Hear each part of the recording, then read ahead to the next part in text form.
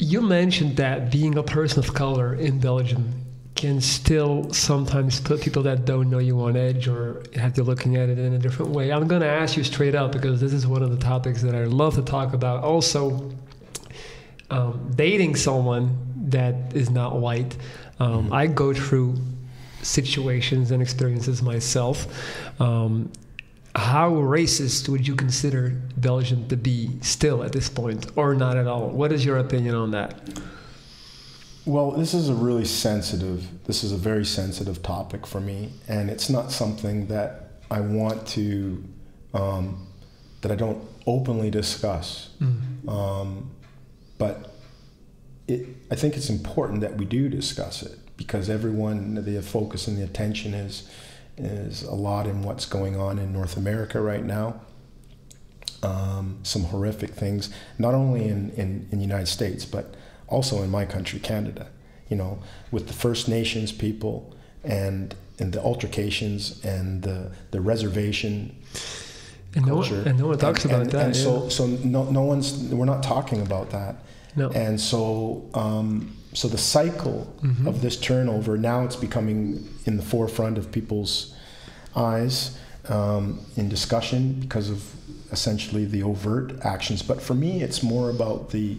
Um, I'd like to talk more about the system, systemic parts and the institutionalized aspect of this. For me, I have been. I grew up being pestered, being bullied, um, growing up in a predominantly, you know, again, white Anglo-Saxon, Catholic, Protestant environment. Um, with not a huge cosmopolitan content at that time. Now it's changed where I live. Mm-hmm. If I go back, it's just like it's opened up. But at that time, that I didn't have a connection to the black community in terms of my identity as a mixed or uh, a young black man. Mm-hmm. I had exposure to that when I was with the national team because we had a lot of black players from Toronto, and I had a really hard time at the beginning because they looked at me as like the kind of the Uncle Tom, pardon mm-hmm. the pun. Right. And I had to fight, and I had to, and I wanted to be accepted by them, but I went through that. I went through. I had to go through that mm-hmm. process, mm-hmm. and that was extremely hard, extremely hard. So because of all that, those experiences and that learning, when I once I got here. Um, of course, you notice the look, you notice the glance, and those subtle things that most, you know, white Belgian people they don't they don't understand that sensitivity, and I never force that upon a, another person to understand that because they can't. Mm-hmm. But if if we sit down, most people will not. I will not have a conversation like this about that with somebody, and you're bringing that up to me, and I'm saying that I see it and I experience it every day. Yeah. And again, I, I break through that because initially, I'll give you an example. I'm going into the, the bank or I'm going into an administrative house and I need to have something done, some formalities. And person looking at me with a little bit of head sideways and looking at me like is he Moroccan? Is he this? And, and, and as soon as I speak English and I say I'm Canadian, I see the body language change and they open up. But but for me, the damage is already done. Right. But mm. I don't I don't I don't cry over it. No. But it's there.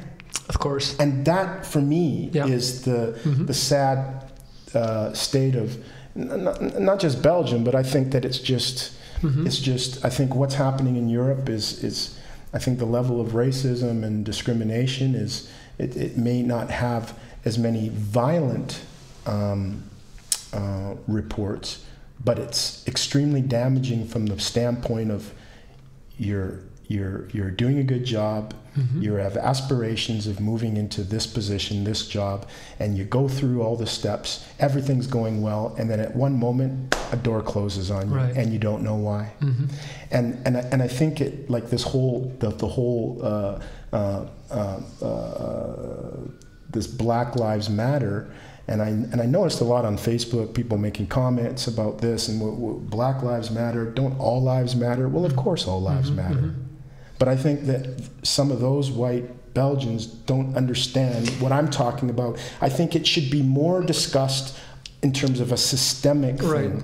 Nobody wants to see anyone get beaten up mm-hmm. um, no. and, and, and hurt and that's, but we're talking about an opportunity to sit um, intelligently, calmly, and to open up this, which is a, it's it's it's it's a problem. And um, my thing is what I always say about people in Belgium is they, most of them literally don't have a clear concept of what racism entails. So what I mean is, Yeah. you have a very strong majority of people saying and doing racist things without knowing it. So they're not even they're not trying to be racist. They're not they're not bad people. Right. They just don't have a clear idea of what's okay and what's not because it has been ingrained for, for Right. decades that some things are okay to say and this is something that uh, to this day I try to explain no you cannot say that and then it, Right. but what do you mean and and Right. it's it's it's hard but it's it's very deeply rooted within our culture here And and I think the, the, the curriculum of education, I think it skims over certain certain things, and there could be a way. But but the best education is travel, and so many Yes. people have not been exposed to to different cultures and different environments, and um, and therefore um, developing, uh, you know, uh, tolerances. You know, and it's always going to be now, and especially now with the COVID, people are. It's it's a it's a you know, people are losing their jobs, they're losing their livelihoods. It's always easy to point the finger and, and, and blame and, bl- and blame something else. And I think that those underlying um, some of those views that were under here, tucked away, that you may not even notice in somebody, are now becoming. So the world is going through a, a reckoning, a transformation, um, and that these things are now, and these angers and this during this this this crazy period we live in, I think they come to the they're coming out, and so people can't people can't avoid them, and, and they're confronted with these things, Yes. and that's what's that's what's happening right now. So Do you need help making better decisions in your life? Are you lacking self confidence and motivation to get things done? Hire me today and get a direct daily line of communication with me through video chat and audio messages. I operate on a week to week basis, so no long term investment is required. Seven straight days of Viking advice will get you right on track. Email me at lorenz.dries at gmail.com and change your reality. I'm ready whenever you are. See you soon.